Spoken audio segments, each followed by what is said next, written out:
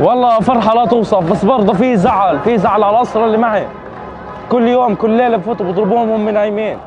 نصحى نلاقيهم فوقينا بالدبسات هدول الحديد والعظم بضربوا فينا أقسم بالله مش طبيعي عذاب جوا. فاتوا علينا خمعة. وتفتيش أخذوا التلفزيونات الراديوهات كل شيء بوصلنا ل... كل شيء بوصلنا للعالم الخارجي. أخذوه. أخذوا منا أدوات الطبيخ الأكل كامل أخذوه. صاروا يجيبوا لنا اكل من المدنية. يجيبوا لنا اكل الأكل 50 حبة بطاطا ل 70 واحد أو 80 واحد جوا القسم يعني.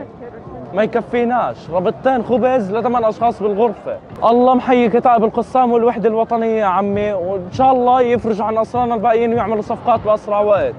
لأنه وضع الاسرى صعب جوا صعب صعب. ينصر أهل غزة. صعب والله ينصر أهل غزة ويشفي جرحاهم ويرحم شهدائهم ويحمي المقاومين يا رب.